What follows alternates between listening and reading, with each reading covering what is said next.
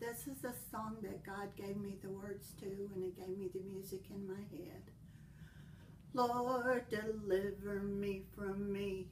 I'm my worst enemy. Deliver me from me. I need the victory. Victory over sin. Self-doubts and fears and shame. Power to overcome all in Jesus' name. I'm counting on you, Lord. I can't make it on my own. I surrender to you now.